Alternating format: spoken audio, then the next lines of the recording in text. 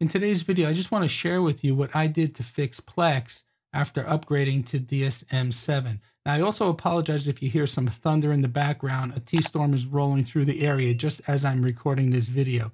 But in any event, before we get to what the topic of this video is all about, I do want to share with you this article from blackvoid.club, and it talks about preparing for a Plex migration to DSM-7. I'll put a link to this article down in the video description.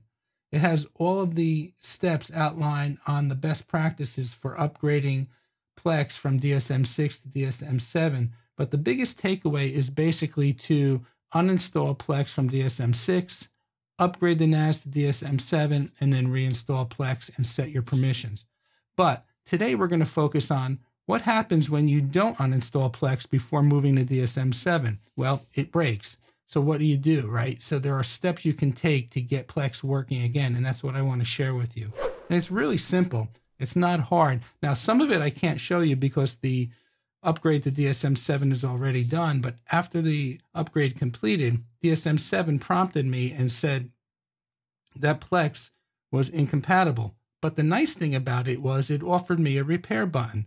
So when I clicked the repair button, what DSM-7 did was remove the manually installed version of Plex that I had put into DSM-6 and then reinstalled a version of Plex that was compatible with DSM-7. However, we're not done at that point. The next step is you have to go into your control panel and you have to set your user permissions. And this is the important part. So follow along closely.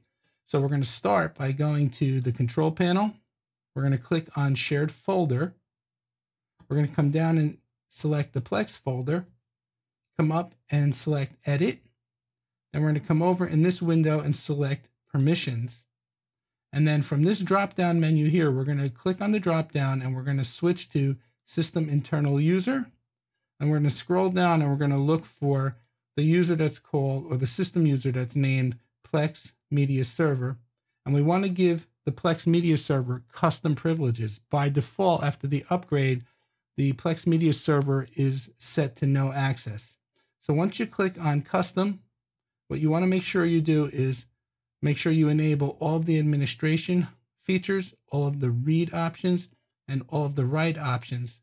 Click on done, and then click on apply to this folder, subfolders, and all files, and then go ahead and click on save. Then click on save to close out of that. And realistically, that's it. You're done. Plex should be working from this point forward. So if you liked the video and found this tip helpful, please give it a thumbs up. Be sure to check out some of my other videos that I have listed here up above. Please remember to subscribe, like, and share this video. And I want to thank you, as I do in every video, for using the Amazon affiliate links. I know they don't change your price, but they do help out the channel. My name is Tony with Quik Tech Solutions. As always, please stay safe. Thank you for watching, and we'll see you next time. And as always, I'd like to thank our Patreon supporters. And if you would like to help support the channel, there's links to the Patreon page and PayPal down in the video description.